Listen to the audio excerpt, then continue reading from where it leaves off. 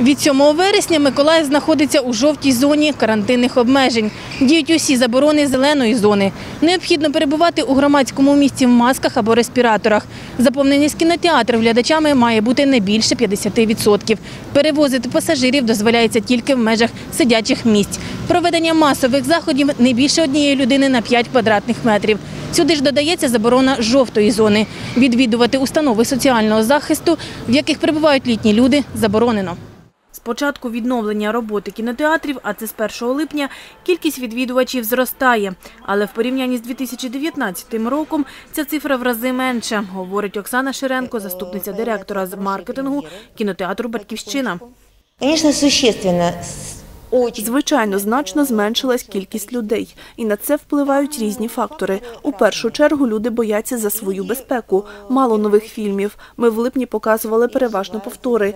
Потім люди просто відвикли від кіно. І з серпня почався прогрес. Те, що Миколаїв потрапив до жовтої зони, насторожує.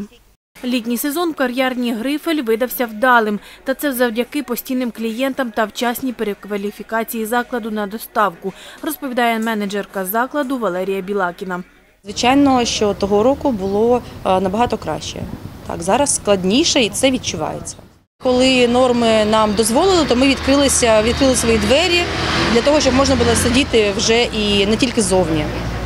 Але це було дуже важко і важко зараз також, бо дуже багато втрат.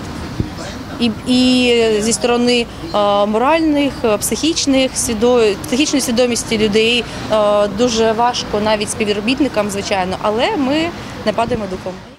Зони карантинних обмежень визначаються по заповненим ліжкам в лікарнях, відведеним хворим на коронавірус, та інтенсивності епідеміологічного процесу, говорить телефоном заступник директора державної установи Миколаївський обласний лабораторний центр Олександр Ігнатенков. Ми перевищили е, той показник, який нам регламентувався е, 40 на 100 тисяч впродовж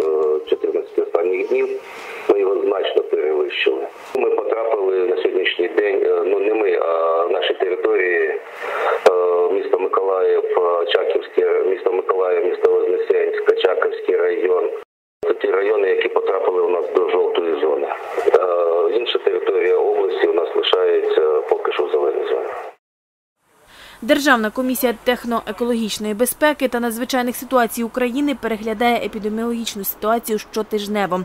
Але вихід із зони може бути не раніше, ніж через 14 днів нормалізації епідеміологічного процесу. Ольга Руда, Євген Сержук. Новини на Суспільному. Миколаїв.